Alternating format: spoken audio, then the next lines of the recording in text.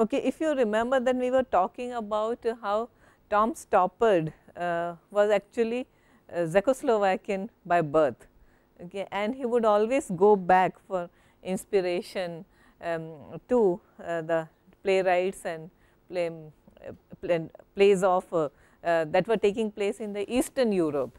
Now, um, having recently finished Dog's Hamlet, what is the key theme of it? What is the key, key theme of the language is a, language is arbitrary. Okay. It also talks a lot about Shakespeare. Okay. Whether it's a, whether Shakespeare Shakespeare has been reduced to a cliche or to a parody by his own countrymen, where you know they just take the melodramatic aspects from all Shakespearean plays and uh, you know uh, thereby just uh, expurgating the poetic and the philosophical part of Shakespeare. Okay. That is also one key themes which he does not really gloss over, but it is uh, there is present uh, as a subtext. subtext. Now, uh, coming to um, Cahoot's Macbeth. Now, both plays are separated, the titles of the two plays are separated uh, with a comma, if you pay attention to that. Dog's Hamlet, Cahoot's Macbeth. So, dog's Hamlet in dog language, Hamlet in dog's language. Cahoot's Macbeth, who is Cahoot? Okay, that is what we are going to see.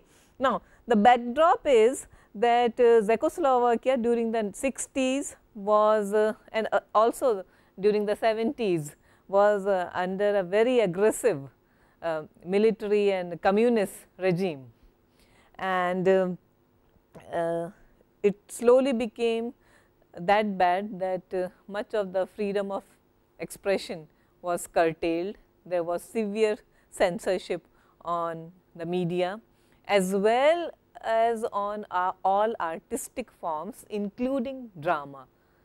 Okay. So, play uh, uh your are you familiar with any well known um, uh, you know Eastern Europe East European writer novelist who has been in exile or something from his own country.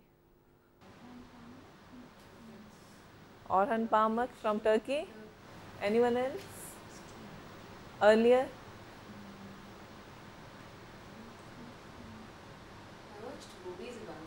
Yes, there have been plenty of movies about. Uh, uh, yeah. The life, the Das Leben der anderen, yeah. the lives of others. Yeah. Yes. Yes. The German movie the lives of, lives of others, yes. What about uh, some one famous Russian novelist, Solzhenitsyn, Alexander Solzhenitsyn, okay, who lived in exile, cancer ward and several such you know mm, uh, novels. So, he too um, uh, you know has suffered that uh, fate. Now, these the two uh, playwrights that uh, Tom Stoppard focuses on in Cahoot's Macbeth, Pavel Landovský and one Cahoot. Okay, they were playwrights and actors, real people in actual situation who had who were banned by the communist regime. So, um, they were uh, prohibited from writing as well as acting in public. Now, actors and uh, uh, artists being what they are, so they worked out uh, you know a strategy to work around this situation and this led to something called LRT.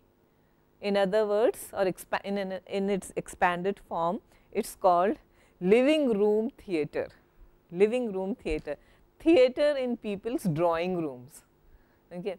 So, if they if they were not being given a space to perform a, a, a proper place a space to perform a stage or um, you know a university something like that where they would usually perform then fine they are they are banned. So, they started performing in one another's drawing rooms okay, where there was some space and where some like minded people could be invited and then they would enact the play and uh, things would go on, but at least they were able to uh, you know be faithful to their art one and also communicate a certain me message to uh, the communist regime that fine you are not allowing us to perform in public, but we still have some place to go. Okay. So, these living rooms soon became extremely famous and theatre uh, enthusiasts and actors and playwrights they started forming these groups where plays would be staged uh, you know uh, periodically and people would be invited and the audience had to pay only a nominal fee because see money was not the criteria it was just uh, a way to give a vent to their artistic self okay. So that was the entire idea. So cahoot's macbeth now you look at this name cahoot cahoot was one of the uh, banned playwrights. And uh, how cahoot started the playwright cahoot um, uh, enacted a version of macbeth. So that is what we mean by that is what we understand by cahoot's macbeth. That is the backdrop any question anything you would like to comment on?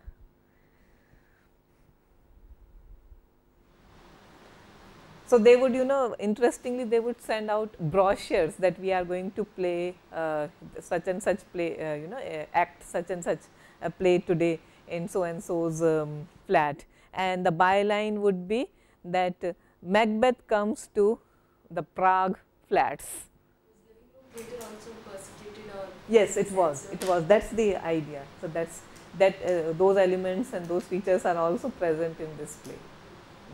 So, as you read on you will find that as um, Macbeth is being performed in a living room, okay, then they suddenly uh, uh, there, uh, it's stopped, it's intervened by uh, the surveillance team, the police, they come in and they burst in and they started they start searching the uh, audience, questioning the host. So, these things, but the, those playwrights learned to live with it, the audiences also learned to live with it and they survived many of them you know and after once it was all over then life became um, went back to normal. For example, look at the Czechoslovakian uh, playwright who was also one of the banned people Vaclav Havel okay and he la later went on to become the president of so I think earlier also we talked about Tom Stoppard's relationship with Vaclav Havel, okay, president of Czechoslovakia, who was also a playwright and who also was also banned at one point. Okay. Same can be said about uh, Lech Walesa, uh, the Polish prime minister, uh, president, and uh, um, who was uh, who was an actor. So, um, there could be some relationship between politics and theatre and cinema. I do not know.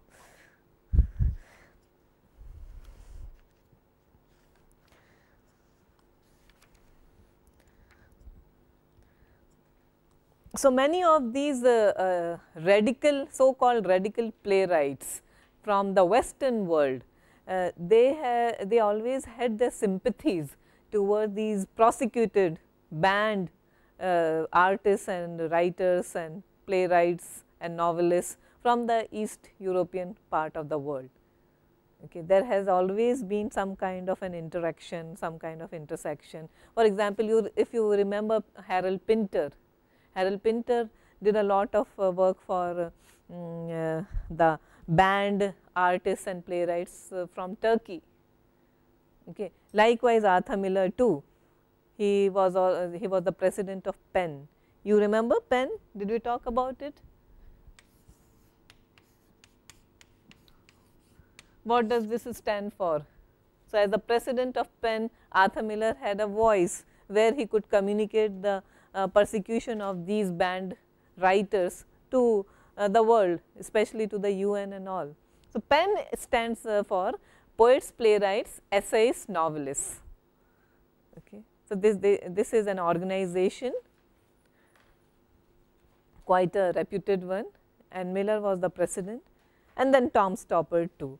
So, there has always been an affinity between uh, those uh, banned playwrights and uh, novelists, artists etc. and between the radical uh, people who were more on radical and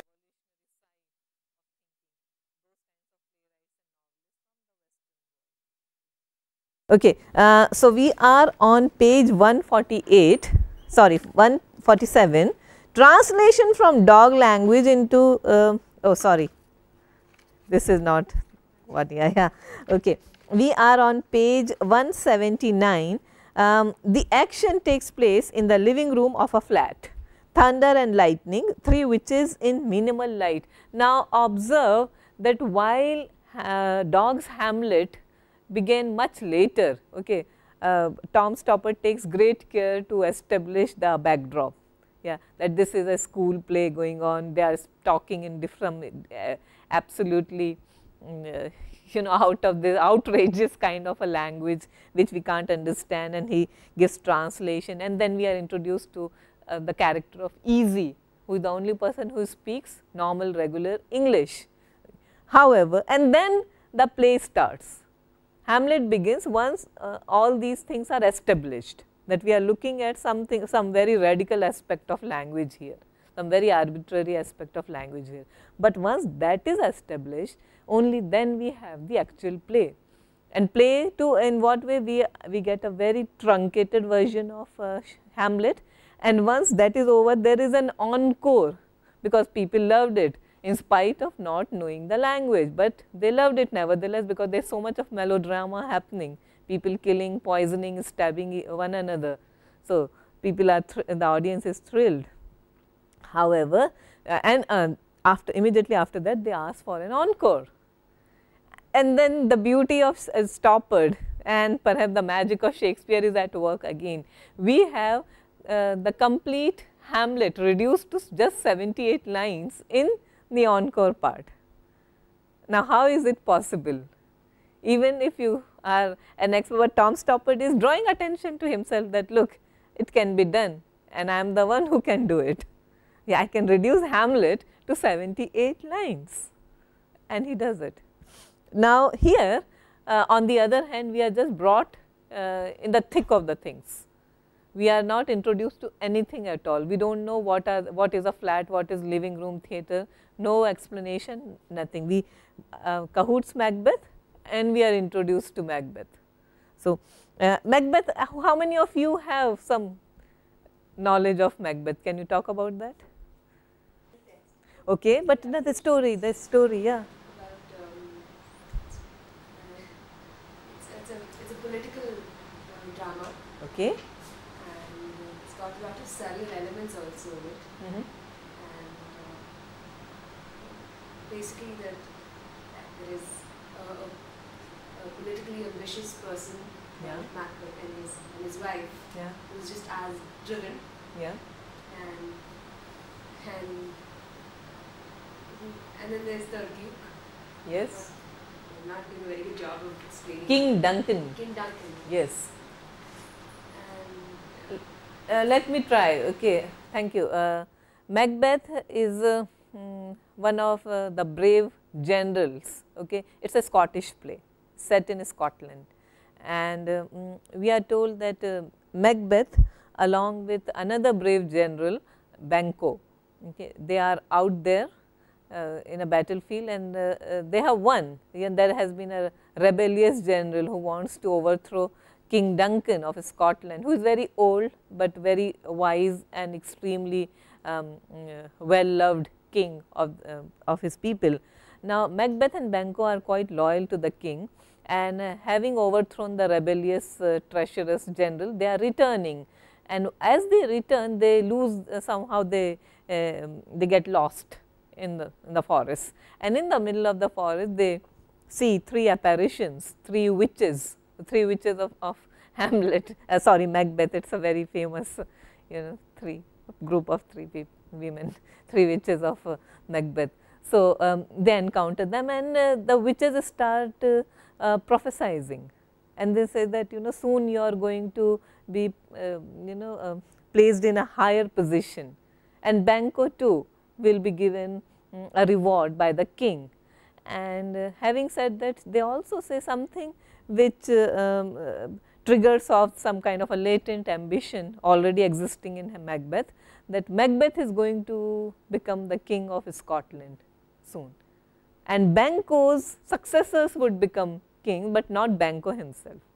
So, after that the um, witches disappear, but um, Macbeth is filled with ambition and uh, spurred on by his lady, Lady Macbeth, uh, he plans to assassinate King Duncan and it so happens by coincidence that King Duncan arrives as a guest in Macbeth's palace and where um, um, you know seizing the opportunity Macbeth murders King Duncan in his sleep. Uh, all the while he is encouraged uh, aggressively encouraged by his wife and um, uh, uh, Macbeth ends up becoming the king of Scotland. Okay. And therefore, this over you know, this over ambitious trait of Macbeth that leads to his subsequent downfall, because now he starts uh, uh, you know uh, suspecting everyone. He, he thinks that what he has done to the king could be done to him as well. So, he starts killing off you know uh, recklessly started starts murdering around people like first he starts with Banquo.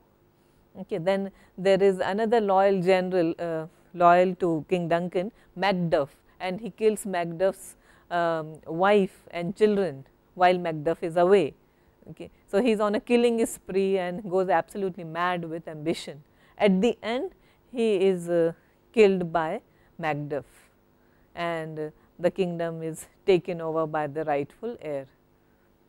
So, that is the story of Macbeth in um, its abridged form. If you remember we also did uh, Kurosawa's The Throne of Blood which deals with the same year which is which is actually Macbeth, but set in 12th century medieval Japan. Okay. And uh, what um, uh, although in uh, uh Shakespeare everything is uh, nicely resolved at the end because Macbeth uh, although he is a hero, he is a tragic hero, you know what a tragic hero is all about.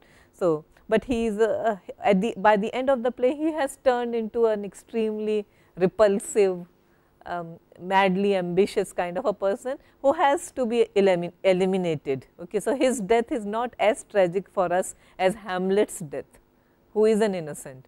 His death is not as tragic to us as perhaps Romeo's death. Hmm? But uh, when he is uh, uh, eventually killed and uh, the rightful heir takes over the throne, we there is some kind of a relief. In Kurosawa, we do not get that relief we um, the hero is just killed, okay, but we do not know whether this cycle of treachery is going to continue or not. So, it is quite an open ended kind of an ending in Kurosawa, because he was also making a commentary on uh, the politics in Japan. All right. So, let us have the three witches. When shall we three meet again? In thunder, lightning or in rain? When the hurly-burly is done, when the battle is lost and won. That will be here, the set of sun. Where the caves? Upon the heath. There to meet with Mac Macbeth. Fair is foul and foul is fair, over through the fog and filthy air. A drum, a drum, Macbeth doth come. Um, enter Macbeth and Banquo. So foul and fair a day I have not seen. Now see the way he is repeating uh, the language of the witches so, perhaps that is Shakespeare's way of telling us that he is already, already you know um, akin to these evil spirits.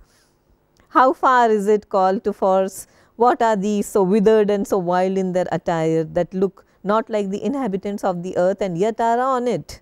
Speak if you can, what are you? The witches encircle Macbeth, see casting a spell. You, you remember Faust, we did Faust as well, so knocking at the door three times. Yeah you have to say three times and then I'll enter. That is also part of you know witchcraft. Like we have done Girish Karnad's Nagamandal where there is what is that uh, what? Roots? Okay yes. So all parts of casting a spell and Uh, practicing magic and witchcraft so they encircle Macbeth and not Banquo So, my, uh, you know pay attention to that. Yes. All hail, Macbeth.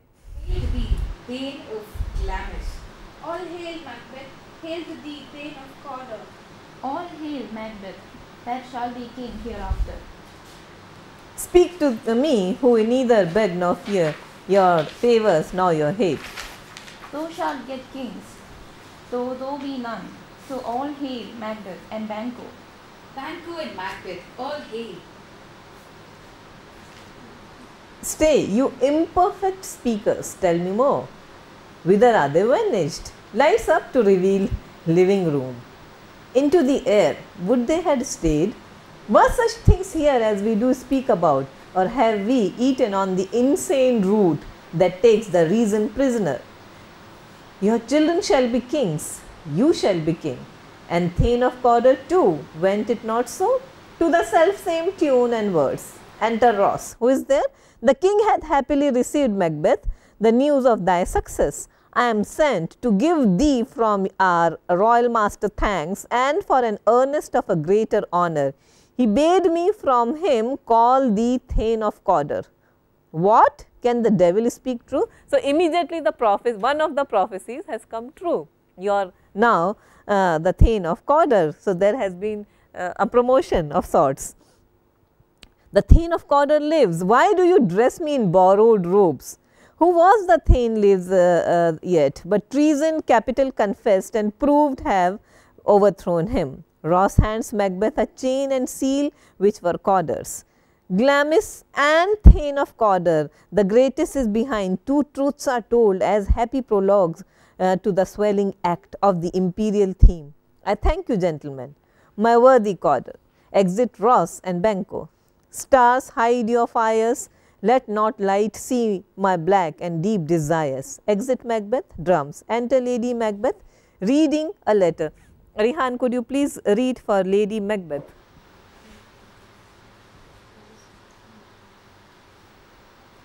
Whilst I stood wrapped in the wonder of it, came missives from the king, who all hailed me, Thane of Cawdor, by which title before these weird sisters saluted me, and referred me to the coming on of time with Hail, King, tha- King that shalt be. This have I thought good to deliver thee, my dearest partner of greatness, that thou mightest not lose the dues of rejoicing by being ignorant of what greatness is promised thee. Lay it to thy heart, and farewell. Glamis thou art, and Cawdor, and shalt be what thou art promised. Yet do I fear thy nature. It is too full of the milk of human kindness to catch the nearest way. Hie thee, hie thee hither, that I may pour my spirits in thine ear, and chastise with the valour of my tongue all that impedes thee from the golden round, which fate and metaphysical aid doth, doth seem to have thee crowned within. Enter first messenger. Uh, what is your tidings? The king comes here tonight. Thou art mad to say it. Is not thy master with him? Our Thane is coming. One of my fellows had the speed of him. He brings great news. Now see, um, Lady Macbeth, she is reading and one of the uh, most popular lines from Macbeth is, uh, yet do I fear thy nature is too full of the milk of human kindness. Uh, we often use it, it is such a popular expression that it has come to be a part of a popular English language, isn't it? So, uh, you are full of milk of human kindness. What does it mean? You are extremely kind. Does she know her husband well? Uh, we are not too sure, okay, because she is reading a letter from her husband that uh, two of the prophecies have come out to be true.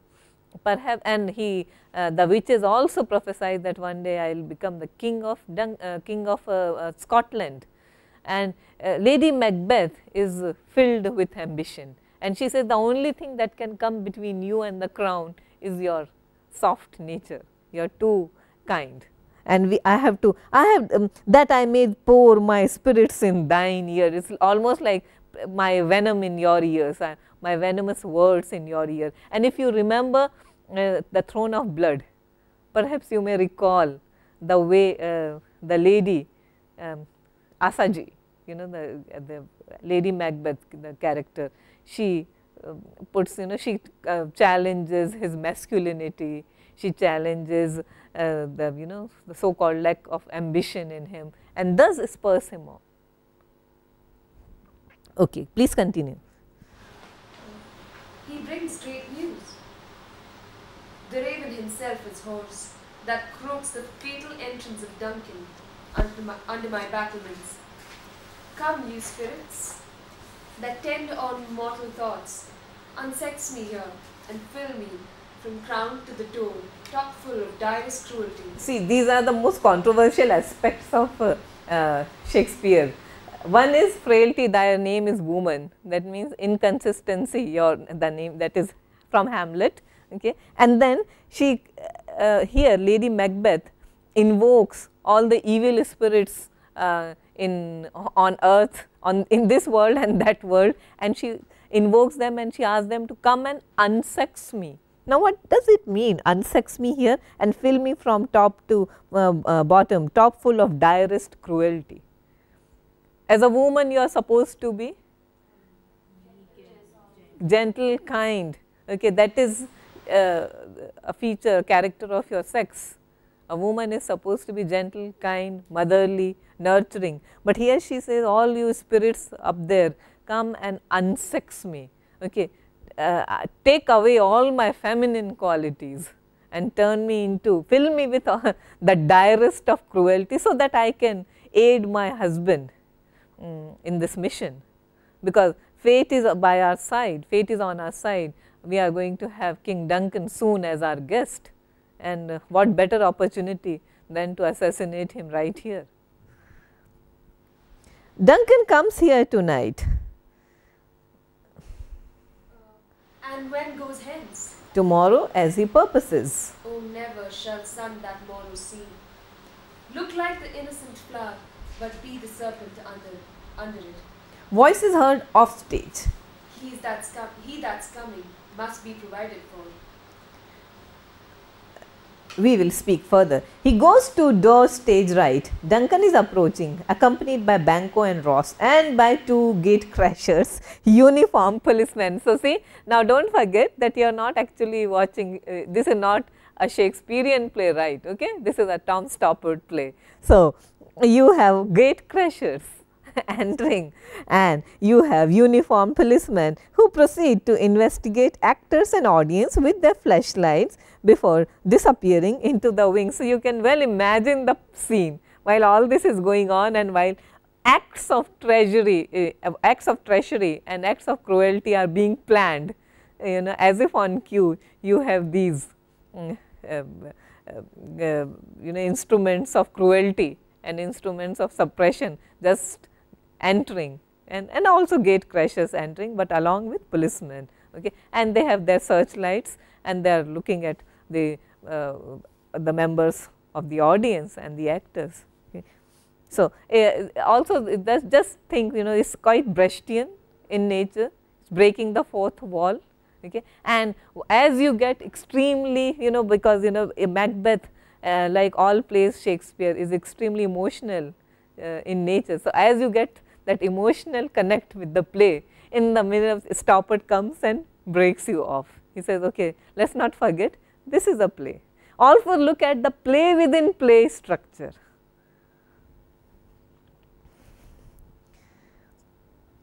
Raisa, can you read for Duncan please? This castle hath a pleasant seat. The air nimbly and sweetly recommends itself unto our gentle senses.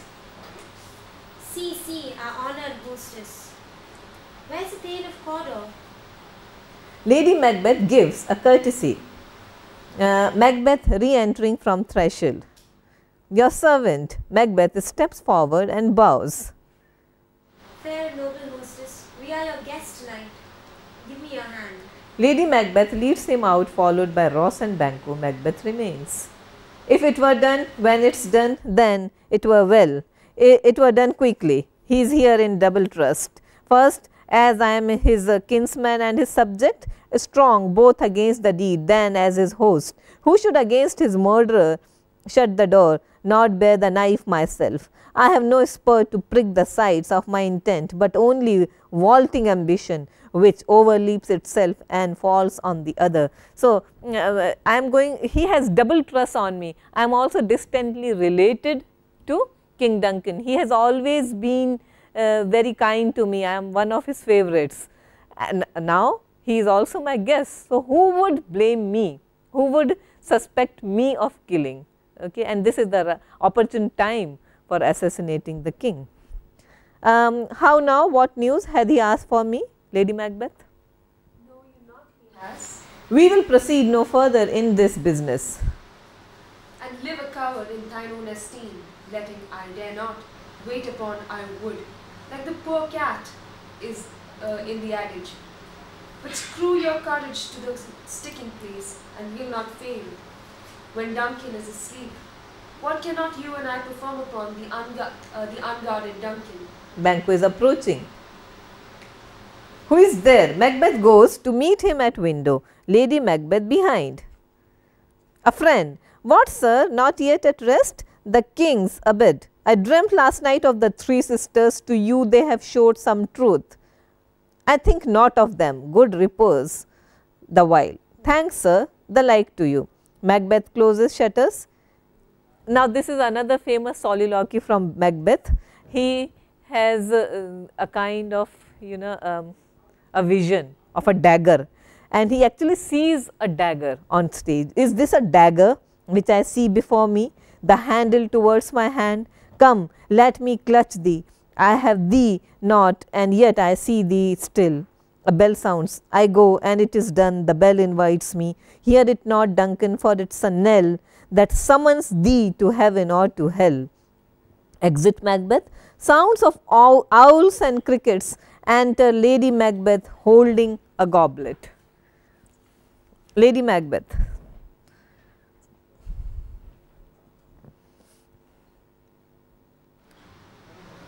That which, that which had made them drunk had made me bold. Uh, the doors are open, and the, uh, and the surfeited grooms do mock their charge with snows. I have drugged their possets. I laid their daggers ready. Had he not resembled my father as he slept, I had done. My husband. I have done the deed. Didst now, uh, uh, didst thou not hear a noise? I heard the owl scream and the crickets cry. Now, at this moment, we are told that the deed has been done. She puts something in the wine of the, the guards who are guarding the um, chamber of King Duncan. Now, uh, and they, uh, they drink the wine, okay, which has some sleeping potion mixed in it, and they fall asleep. Okay, they do, just don't know what's happening. She takes uh, um, advantage of the moment. She enters King Duncan's uh, bed chamber. However, she cannot perform the deed. Why? Because she, as she comes back and she tells us that he resembles so much my own father. Otherwise, I would have gladly done so. So, what Shakespeare is saying that perhaps you know everyone is human at heart. Basically, all everyone is good. However, it's certain uh, aspect that fatal uh, what what do we call it? The fatal flaw in our character that leads to our downfall, that leads to our tragedy. Yes, Akshay? Yes, fatal flaw or ham hamartia, right. So, it is the hamartia that leads uh, to the tragedy in our lives. Okay. Lady Macbeth cannot be all that bad if she could not do perform the deed herself. Okay. She comes back and asks her husband and her husband now he actually wants the deed to get over with. He says okay fine let us do it. And I heard the owl scream and the crickets cry and then look at the uh, inventive outrageousness of Tom Stoppard. A police siren is heard approaching the house. You know, you, uh, uh, you look at the coincidence. They hear the Lady Macbeth says she heard the owl scream and the crickets cry and a police siren is heard approaching the house. During the following dialogue, the car arrives and the car doors are heard to slam. There is one uh, did laugh in its sleep and one cried murder. One cried God bless us and aim in the other. Siren stops as they had seen me with these hangman's hands. Can you read it, Rehan, for Lady Macbeth? Consider it, uh, consider it not so deeply. These deeds must not be thought after these ways. So it will make us mad. Methought I heard a voice cry, Sleep no more, Macbeth does murder sleep. Sharp rapping. Whence that knocking? Sharp rapping. How is it with me when every noise appalls me? My hands are of your colour, but I shame to wear a heart so white. Retire we to our chamber. Wake Duncan with thy knocking, sharp rapping. I would thou couldst. They leave, the knocking of stage continues. A door of stage opens and closes. The door into the room opens and the inspector enters an empty room. He seems surprised to find himself where he is. Now, see, knocking uh, at the door, at, at the gate, is a, a famous scene from Macbeth. Okay. And then the in the actual play also. Yeah, it's it's a much celebrated, oft quoted scene from Macbeth, knocking on the gate. Okay, and coincidence, yeah, Stoppard manipulates the scene. Okay, he uses that scene, and it's there is a sharp rapping on the door, uh, where on the you know, where at the LRT or the living room theatre, the door of the theatre. And now you have the um, police. He affects a sarcastic politeness. Oh, oh, I am so sorry. Is this the National Theatre? Of course, he knows it's not the National Theatre, it's a living room theatre, but he is being very sarcastic. So, because uh, you know the by the look of it, it look, seems like a, a play is in progress. A woman, the hostess, approaches through the audience. Uh, Raiza, can you read for the, the hostess? No. It isn't? Wait a minute, I could have made a mistake. Is it the National Academy of Dramatic Art? Or as we say down Mexico way, nada?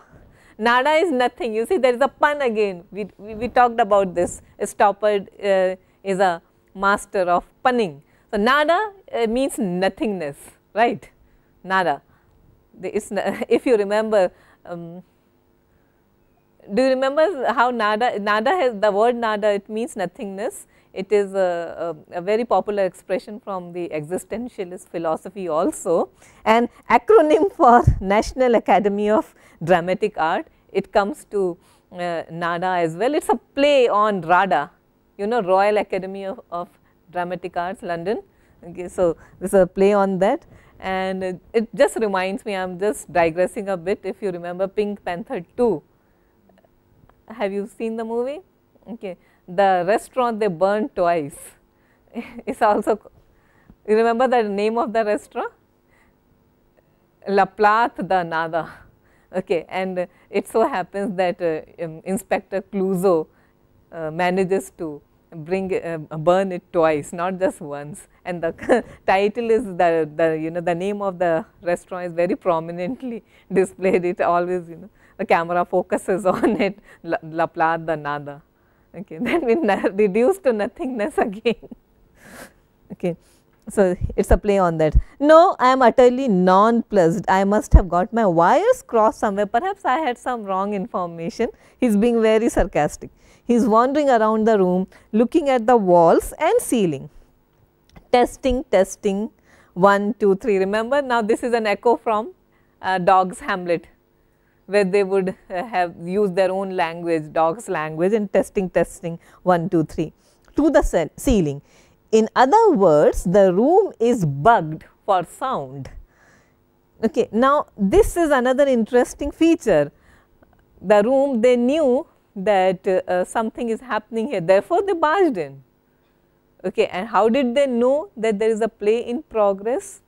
Because the ceiling is bugged, the, the place is bugged and this was actually happening uh, in uh, the, the countries which came under the Iron Curtain those days. So, the, uh, the houses and uh, leave alone the you know the um, drama, drama academies or theatre, but also people's personal houses were being bugged. Okay. And this is a, a one uh, um, theme which has been often explored by playwrights including Arthur Miller's uh, in his very popular play called the Archbishop's Ceiling, okay, where the entire play takes place in a hall and the place is called it's a, is a, it formerly belonged to an archbishop. It's a place set in Czechoslovakia, okay, where a playwright uh, undergoes the same treatment, banning, persecution, and his plays are uh, stopped from being performed and his manuscript is seized. That is the theme of the central theme of the play. And throughout the, the, uh, characters who assemble in that particular room, they are extremely aware that um, you know they are being recorded, there is some hidden camera somewhere. And just imagine living under that kind of fear where you can't express yourself freely even in your own house because they know that it, the house is bugged and somebody out there is listening to them. Okay. So, uh, the same idea the archbishop ceiling it was it also came around the same time a little before than Cahoot's Macbeth the same idea. Is it the house of the Bohemian Light Opera? Okay, if not the National Academy of Dramatic Arts, then maybe uh, the Opera House. You live here? Yes. Don't you find it rather inconvenient having a lot of preening exhibitionists projecting their voices around the place? And that is just the audience. I mean, you who wants to be packed out night after night by a cry, crowd of fashionable bronchitis saying, I don't think it's as good as his last one and expecting to use your lavatory at will, not to mention putting yourself at the mercy of any Tom, Dick or Bertolt. Bertolt Brecht putting uh, who can't universalize our predicament without playing ducks and drakes with your furniture arrangements. I do not know why you put up with it. You have got your rights. Okay. This is uh, you know extremely ironical. Your house is being bugged and then at the same time telling you, you got your rights. you should not let people do this to your house. Nosing around, he picks up a tea cozy to reveal a telephone. You have even got a telephone. I can see you are not at the bottom of the social heap. What do you do? Ah, well, it is not the first time I have been wrong. Is this phone practical? To ceiling again, 678 111. He replaces the receiver. Yes, if you had any pride in your home, you would not take standing room only in your sitting room lying down. okay. Um, the telephone rings in his hand, he lifts it up. 678 111 clear as a bell. Who do you want? He looks around. Okay. Is Roger here? Into the phone. Roger who? Roger and out. He removes the phone from his ear and frowns at it. Didn't even say goodbye. Whatever happened to the tradition of old world courtesy in this country? He puts the phone down just as Macbeth and Lady Macbeth re-enter the room. Who are you, pig face? Now, uh, if you remember pig face in dog's language, what does it mean?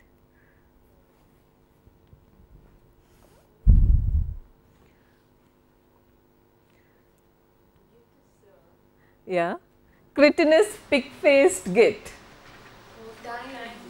Something like that, yeah.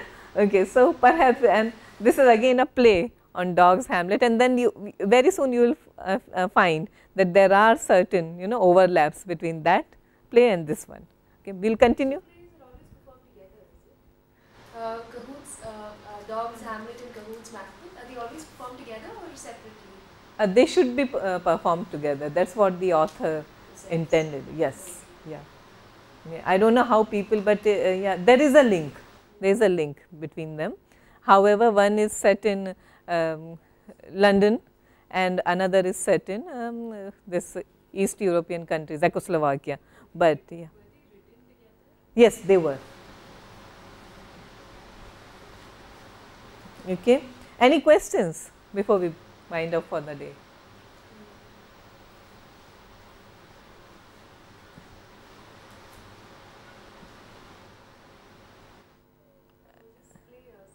Is this play censored because it's so obviously a triple. Uh, uh, as in it has the names as such like Landovský and. Uh, well, uh, but you know, you remember that it, the play was performed in London. Yeah. not in Czechoslovakia. Mm, So, um, there is a thankfully not that kind of censorship going on there. So, it was performed and uh, quite a well received play.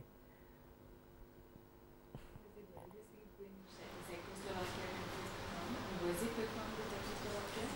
Uh, Maybe after after uh, the lifting of the Iron Curtain. Okay, couldn't have been performed while the Iron Curtain was still on. Yeah. But uh, also consider the immense possibilities of exploring Shakespeare. okay, so we all talk about the universal nature of Shakespeare. What is it? It's a cliche. It has it has become a cliche. We always begin Shakespeare. Why do we like Shakespeare? It's extremely universal. But what? Elaborate on this and then we dry up. We don't know. But then if you look at something like this, we do understand how Shakespeare can be universalized. Yeah. So it's not just paying lip service, but actually putting where his money is. It also shows, uh, shows that especially in uh, Dogg's Hamlet, where uh, how Shakespeare is most remembered for a few lines. Yes. And if you put all those lines together, that is always Shakespeare. The, yeah, quite true. Shakespeare himself comes out and says all the most memorable dialogues, you know, as if it's from a Bollywood pot boiler. All the dialogues are in there. Okay, most clap worthy dialogues of Shakespeare are in there. And uh, in, in this, but uh, mm, yeah, uh, I remember Tom Stoppard saying somewhere that uh, this play, uh, as we see it, Cahoot's Macbeth, was not performed uh, in exactly this way in by in Czechoslovakia. They would perform Macbeth in the proper manner. Okay. It was just a way of escaping from the regime because they couldn't write what they actually wanted to, you see, but they still wanted to act or stage a play. So, Macbeth would be performed as it was meant to be performed, not in this truncated form. Now, because it is Cahoot's Macbeth, Stoppard is, is taking, you know, uh, yes, liberties with it. All right. So, we will meet tomorrow.